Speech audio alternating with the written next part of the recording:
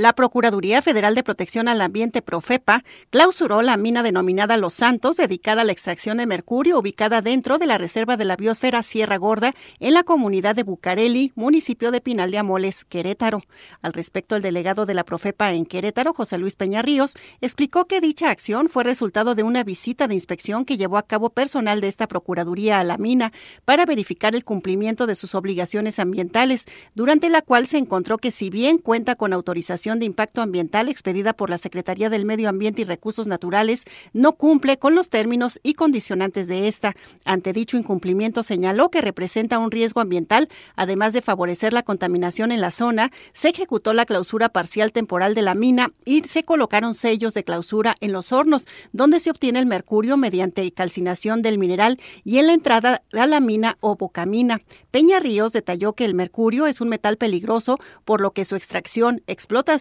acopio y transporte requiere de un manejo especial, sobre todo por parte de los trabajadores que deben de contar con adecuados equipos de seguridad. Por lo tanto, sostuvo la Profepa, a través de la inspección industrial, pone especial atención a la reserva de la biosfera Sierra Gorda, decretada como área natural protegida, ya que la actividad de extracción de minerales y su aprovechamiento deben realizarse de manera sustentable y respetuosa con el medio ambiente y los ecosistemas. Para concluir, el funcionario federal aseguró que la Profepa continuará con las inspecciones en el Estado como parte de su compromiso por visitar y verificar el cumplimiento ambiental de las actividades industriales para contribuir así a la protección del medio ambiente. Informó para Noticias RTQ Heidi Wagner.